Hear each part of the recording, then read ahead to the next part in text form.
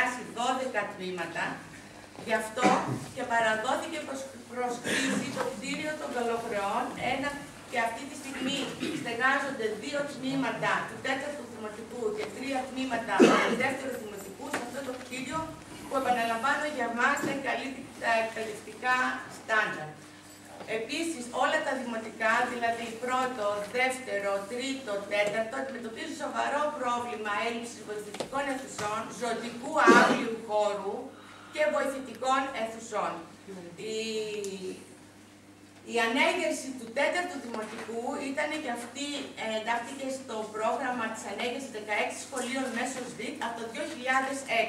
Όπως είμαστε στο 2014, δεν υπάρχει κανένα νεότερο για το τι θα γίνει, παρεκτός της δημόσιας ανακοίνωσης του Δημάρχου του κ. Δανιλίδη προσφάτως στην εφημερίδα Μακεδονία, όπου αναφέρει ότι οδεύει ε, το πρόγραμμα των ΣΡΙΤ ε, προς ε, κατάργηση, έμεση κατάργηση και με μια επιπλέον μεγάλη καθυστέρηση, καθώς ο ανάδοχος αποχωρεί η εκτέρνα. Με αποτέλεσμα και κατά τα δικά του λόγια, αυτό ίσως επιφέρει μια εκ νέου μεγάλη καθυστέρηση, ίσως και 10 χρόνων.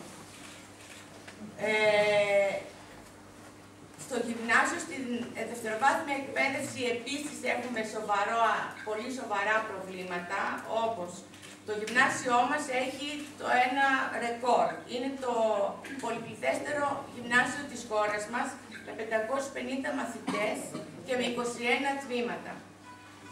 Χτίστηκε και δόθηκε το 2007 για το δεκαθέσιο.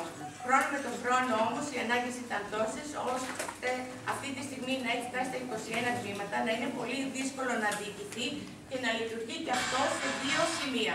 Στο κτίριο του ε, υπάρχουν οι 12 αίθουσες μαζί με τις δύο αίθουσες προκάτ που είναι στον άβλιο χώρο και δύο μεταλλικά κήπο επίσης στον άβλιο χώρο και απέναντι ακριβώς ένα άλλο οικόπεδο όπου υπάρχει το παράρτημά του στεγάζεται στο πρώην κτίριο του απογείου. Μέσα υπάρχουν τέσσερις αίθουσες διδασκαλίας και η αίθουσα πληροφορικής και έξω στεγάζεται μία αίθουσα σαν κύρια στην αυλή, σε κήπο, όπως και μία βοηθητική αίθουσα.